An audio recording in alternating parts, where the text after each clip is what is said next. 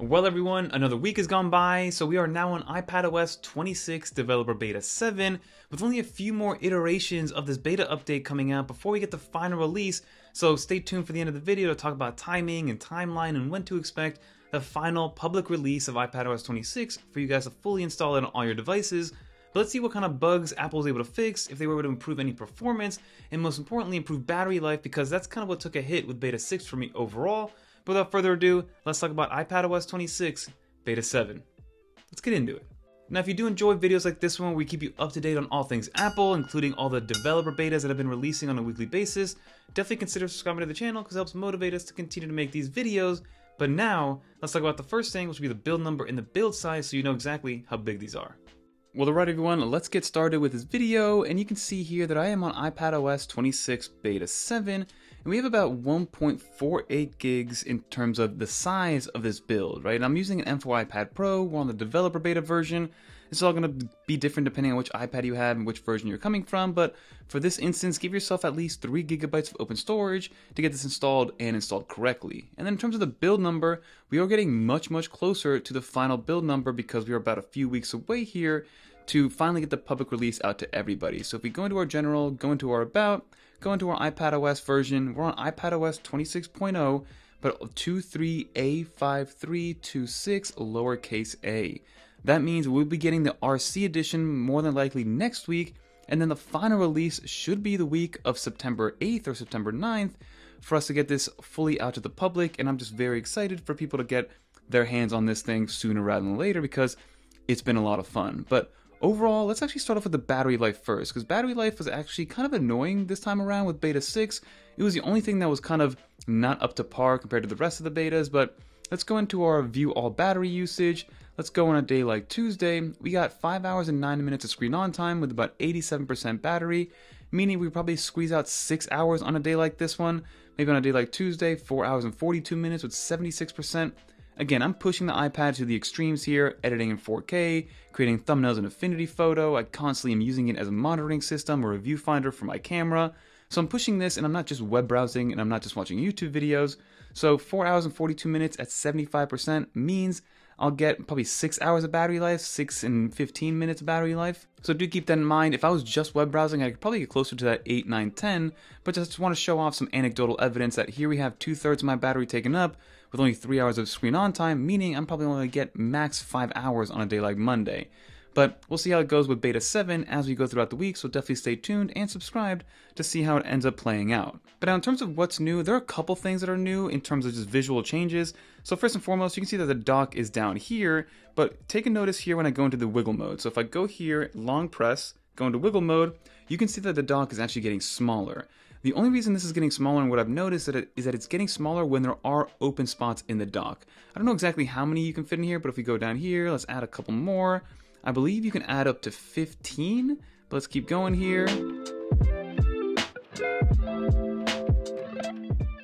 But as you can see, you can add an abundance of different applications, and what I've done here is I've gotten rid of the app library as, as well as the most recent applications just to be able to fit more. But you can see that if I long press again, the dock gets a tiny bit smaller to be able to fit more and more app icons down there. But again, I'm a little surprised how many can fit down here. I don't really, I thought there was only a limit of about 15, but I bet since iPadOS 26 came out, the limit has been way, way higher, and you can see how small these apps are getting. I mean, if I go all these applications, there's easily 20. Okay, so there is the final limit.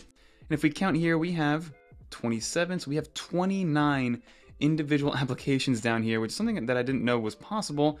Again, if I long press, you can see that it does get a little bit smaller. I'll show you guys from over here to get a better view. Long press, the dock gets a little bit smaller in order to actually understand what's going on. But that is the one visual update that we saw.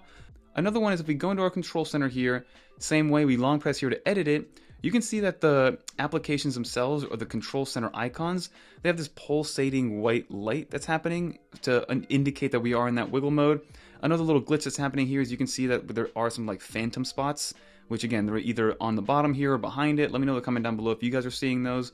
But you can see that they are pulsating. I believe this might have been a beta 6 update, but some people have said that it's new. Some people have said that they've had it for at least one beta, but something to take into account there. And it takes up the entire kind of area that that control center icon is taking up. You can see that there are those, those phantom ones again, but again, we're still in the final edges of beta, and I'm sure Apple's going to tidy this up as we go along. There's also a new update that's again mostly for iOS 26, but if we go back into our battery, there's actually a new notification setting for battery usage. So if you do go into your battery health on your iPhone, you have your adaptive battery percentage that shows up. You can actually get a notification to understand when you go into adaptive battery mode and adaptive charging mode and why that's happening. I know people had a lot of questions as to what kind of indicates going into that adaptive mode, but that is now but that is now a notification that comes in with your iOS device. Again, not on iPadOS, but it's there on iOS, which will eventually trickle down into iPadOS.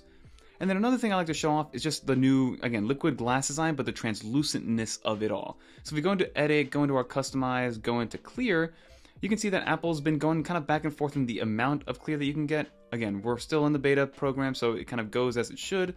But I think from a translucent standpoint, it's kind of at the best situation right now. Again, we have the transparency mode that's working really well. You have all these different applications that are kind of morphing the way that they should be, even though they aren't first party applications.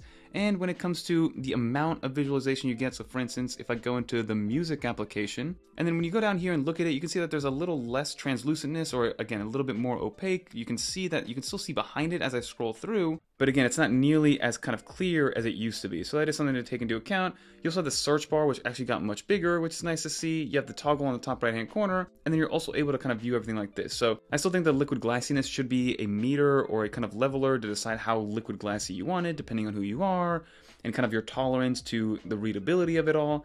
That would be kind of a nice little customization feature on the home screen, but overall, that is what it looks like right now. But that's all we got from an overall update version of Beta 7. Things are still getting snappier in my opinion, so things are opening very fast. So if I pull this up, you can see how quickly everything opens. Everything's opening how it should be. You also, I'll press this right here. You have the ability to, again, open as many apps as you want. Everything else has kind of remained the same, and I'm just excited to see when people get this in their hands and they'll be able to test it out. But let's finish up this video, everybody, and move on to the next one. That will just about do for this video, everybody. As you saw, nothing big time is changing here with Beta 7. This is mostly just going to be performance updates, making sure that the bugs are getting squashed on a timely basis to, again, make sure that it's ready to go for the final release come September 9th, I believe. That is when we should be getting it between September 9th and September 15th. When Apple has their iPhone event, we'll be getting iOS 26, iPadOS 26, macOS 26, and all the other corresponding updates to all the different pieces of hardware. And I'm just excited for more and more people to try iPadOS 26 because it's the first time since we got iPadOS 13 that Apple's really paid attention to what iPad users want and what iPads you can actually do, whether you do have a fully loaded iPad Pro or just an entry level iPad A16. Because again, the experience is pretty much 98% there on the cheaper model versus the most expensive. But that'll do for this video. Let me know in the comment down below if you've updated to any of these developer betas. Are you going to wait for the public beta to come out, which should be on the same day, because this is actually the same time that Apple starts releasing them simultaneously? But I am curious to know if you guys are updating to these betas, or if you're just going to wait a couple more weeks to get the public release on your main device. But that'll do for this video. If you made it to the end, leave a little dolphin in the comments down below so I know you made it to the end, and leave your favorite iPadOS 26 feature that you've seen so far, and maybe even leave a joke in the comments down below, and I'll pin the best one. But that'll do it, everybody. I'm Fernando. Peace.